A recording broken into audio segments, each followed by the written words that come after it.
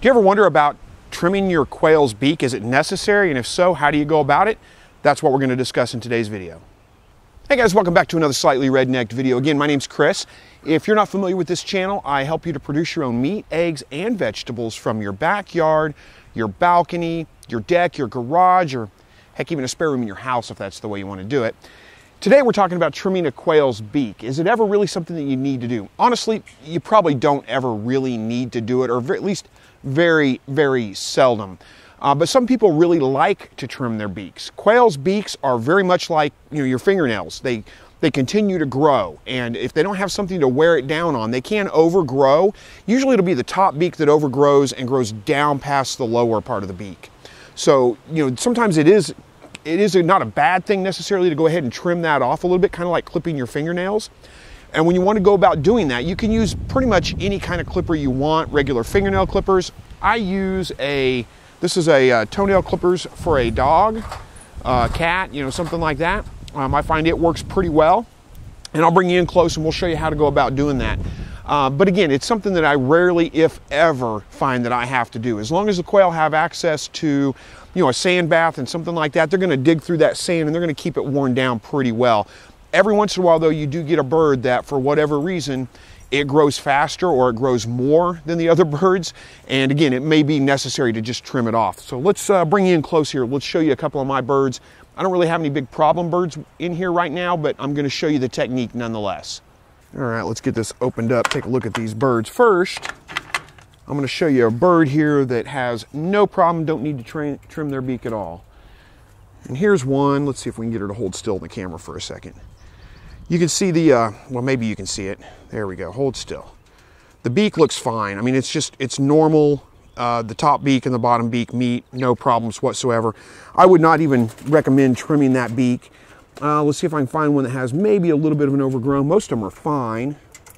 All right, so here is a bird who um, it's not terrible, but could stand a little bit of a beak trimming if you were gonna do it. Again, I really don't find it necessary to do pretty much ever, but here's the situation.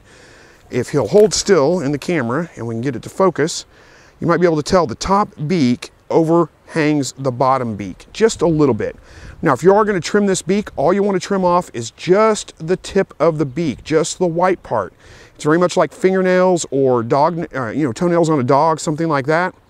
So um, what I'll do is get a trimmers, and again, you can use any ones. I'm using a dog toenail trimmer. It's very much, it's pretty much easier to do this with um, two people, and it might be good to cover the bird's head so they don't kind of, uh, they kind of stay a little bit calmer. But what we're going to do is just trim off just, if I can get him to hold still, just the tip of his beak.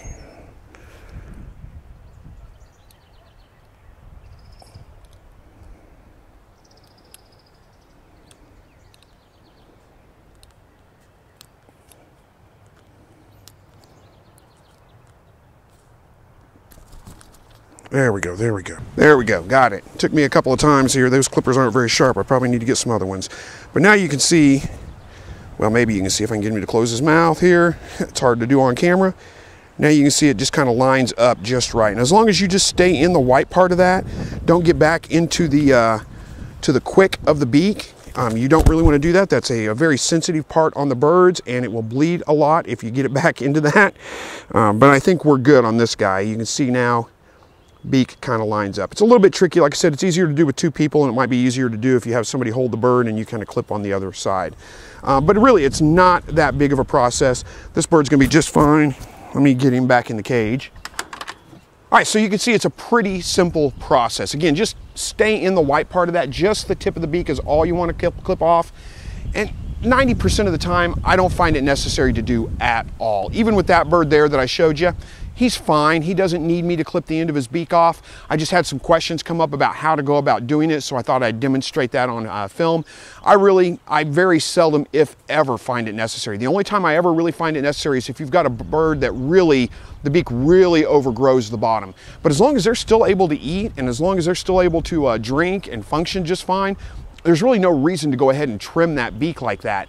Um, you can give them other things that will keep their beaks worn down. Sometimes just a block of wood in there, they'll get up there and rub their noses on it or their beaks on it, and they'll keep it worn down just fine. Or even a sandbox does a pretty good job because they'll shuffle through that sand, and in doing that, they'll keep the beak kind of worn down. So it's really not something that you should probably ever have to do in uh, most cases.